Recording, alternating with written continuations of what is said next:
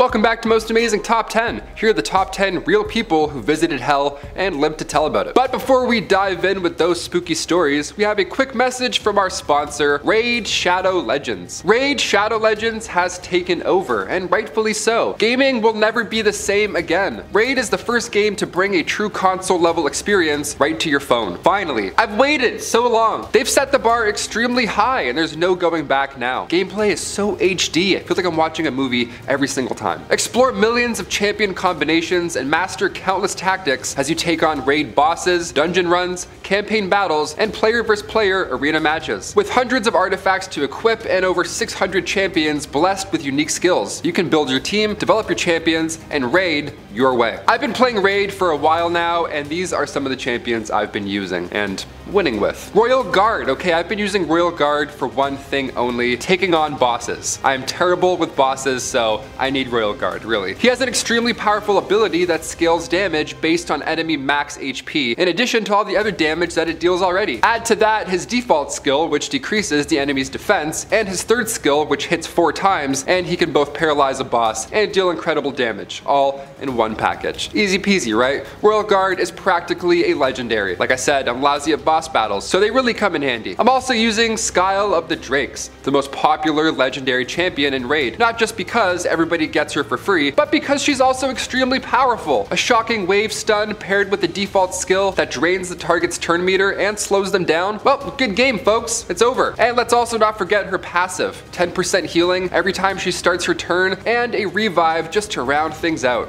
She's amazing, no matter where you put her. And there's tons happening in Raid this month. New champions, an upgrade to Tag Arena, and a full schedule of special events. But here's the main event. Raid's currently running a special Deliana Chase event where you can get your hands on the amazing Deliana, a brand new legendary champion from the High Elves faction, just by logging in. It's that easy. All you have to do is log in and play Raid for 7 days between right now and July 20th. And boom, you'll get Deliana for free. That's it. Play 7 times easy. I'll play 6 times on the way home today. Deliana is one of the strongest support champions in the entire game and can help carry your team get past many of Raid's tougher challenges. You don't want to miss out. This is the best time to get started in Raid and if you click my link in the description or scan my QR code here on the screen, you'll get a free starter pack worth almost $40. Like that's huge. You do not want to miss out. Hit that QR code. We're talking three free champions at once. Misericorde, Tiger Soul, and Romero, plus 10 Magic XP brews, 10 Force XP brews, and 10 Spirit brews. That's a lot, that's huge. They gave only one champion in the past, so don't miss your last chance to get such great rewards. All this treasure will be waiting for you right here. The gifts keep coming. All new players, listen up.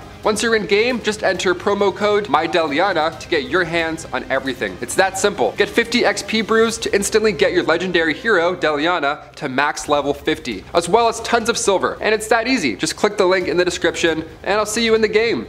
Good luck. Kicking off our list at number 10. Tamara Laroux. We'll begin this list in 1985 when a young Tamara Laroux sadly attempted to take her own life. Thankfully, Tamara did survive, but the time in between has really stuck with her, and of course those who have heard her survival story, including myself. That's why I had to start this list off with her. After her life had seemingly ended, Tamara recalls a fiery pit. She wasn't alone, however, there were hundreds of other souls all in pain, screaming in agony. They were all crowded together, but they weren't able to communicate. It was a horrible sight. But on top of all of this, as horrible as it sounds already, there was a creature flying around with multiple dragon heads. Yeah, that's when a bright hand reached down to carry her back up to heaven and then ultimately back to life, thankfully. Number 9. Howard Storm. With many of these cases on our list today, the victims are quite religious. Their beliefs were already in a specific direction before being summoned to the gates of hell, but not Howard Storm. No, Howard was an atheist until his experience that fateful day in June 1985. He woke up in his hospital bed, but this time he was a spirit. Yeah, that ought to be jarring. At that point, a group, not a central figure, but a group led him down this dark, narrow hallway. The tour guide demons eventually started to attack Howard, but at that point, a voice appeared and told them to start praying to God. Yeah, I would assume if there's ever a time to believe this would be it. This is the turning point, I bet. His first prayer was enough to do the trick, and after he came back to life, he immediately became a United Church of Christ minister. Yeah, that's game changing, more than fair. Number 8.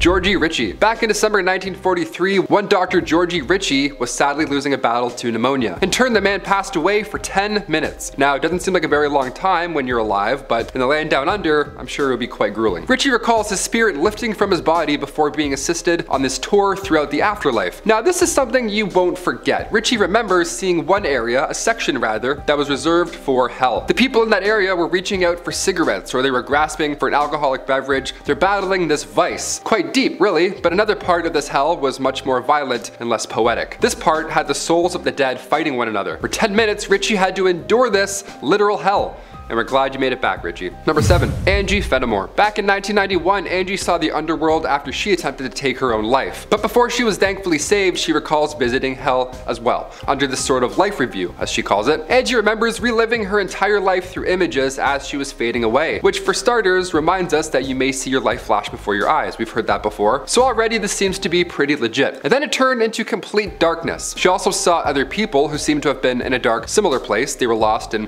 seemed too miserable to even even notice one another. Horrible stuff. Since her experience, Angie has been named Her Royal Majesty Princess Angie Fenimore, Divine Royal of Utah, and the prophetess and leader of the Church of Jesus Christ of Latter-day Saints. Number 6. Kenneth Hagin. Another visit, another book. It's not surprising that many of these cases result in the victim writing a book afterwards, right? They're believers now. Kenneth experienced this at a young age. It was caused due to a heart condition that led to his near-death experience. So the book afterwards, titled I Believe in Visions, Reverend Hagin recalls his body going numb. He recalls losing losing feelings as his heart stopped, and then he began to descend down. Born and raised in a Christian family, Reverend Kenneth Hagin experienced hell and then blackness, darker than anybody has ever seen before. This seems to be a common theme. It's almost like you go down through this narrow, something narrow and dark. It's almost like a tunnel. A lot of these counts are pretty similar, so it's starting to really feel Legit, I'm terrified. We're only halfway there, let's do it. Number five, Sister Josefa Menendez. Now with many of these cases, these visits to the underworld, they're one and done, but not Sister Josefa Menendez. No, she claims to have visited hell several times in her life. I've been to Scotland twice, and I would love to go back, but I have no intention on ever visiting hell once or twice. Never, never, ever, ever. No thank you. Back in 1922 and 1923, she wrote about her experiences in hell, and they sound, as you would have guessed, pretty horrible. Experiences like being squeezed between two burning planks, getting pierced by red hot irons, and of course the horrible smell. Sulfur, there's something burning, it's just not ideal. She said nothing on earth can ever be compared to it. Ugh, I feel sick reading these, this is horrible. Number 4. Sister Faustina. One of the oldest accounts of hell, or rather oldest accounts of a visitor for the underworld, Sister Faustina was a Polish nun nun from the late 1930s, and she claims to visit hell. Again, imagine this time, like so long ago, and then out of nowhere, a nun comes forward with claims like such. That's, that's pretty alarming. To this day, it's still unclear whether Sister Faustina's experience was a vision or an actual near-death experience, but let's talk about it. The descriptions, again, same themes as earlier,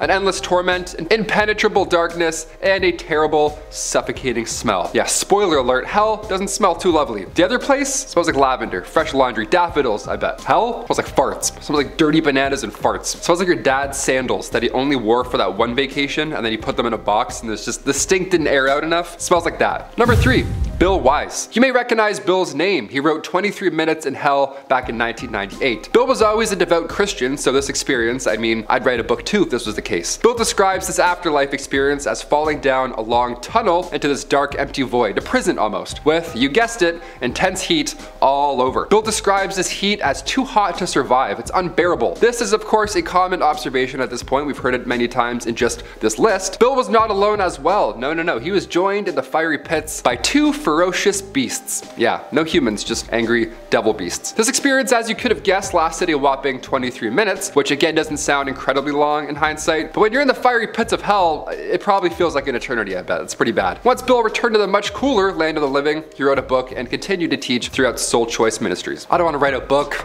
or go to hell. Both sound terrible. Number two, Matthew Botsford. So many of these stories are of course brutal. They start off with a tragedy in some way, shape, or form, like Matthew Botsford, for example. Matthew was attacked outside of a restaurant back in 1992. Now normally this type of injury, that would be it, but in order to save his life, doctors had to put him in a medically induced coma for 27 days. Some of the sights that Matthew recalls, yeah, not, they sound a lot like hell. Sounds very similar to the land down under. He recalls dangling over a pit of magma where he was chained up, surrounded by these four-legged beasts. And what would happen is they would eat his skin and then his skin would regenerate over and over and then so on and so forth. So if this isn't hell, I'm not sure what is, to be honest. Being chewed on over and over, being devoured repeatedly, that's terrifying. He also recalls the emotional feelings, not just the physical ones. He recalls feeling incredibly lonely and isolated. That is, of course, until a massive hand pulled him out of the void, even saying to Matthew, it's not your time. Always that hand pulling people out, that's giving me hope, I'm not gonna lie. And finally, number one, Jennifer Perez. We'll finish this list off with events from 1997. Jennifer Perez was sadly poisoned by those who she thought were her friends. Pretty horrible, horrible stuff. Now for a few days she was hospitalized where of course the illicit substances were causing her to fade in and out of consciousness, really bad stuff. Now during this time Jennifer saw what she perceived as heaven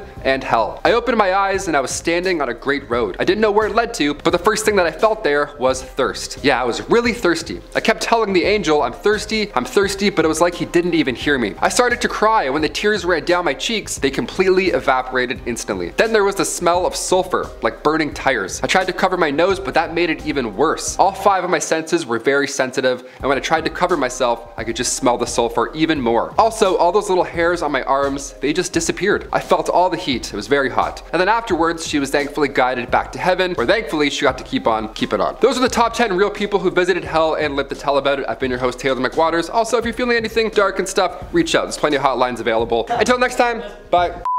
Impenetrable, impenetrable, penetrable, impenetrable, what the? Impenetrable, penetrable.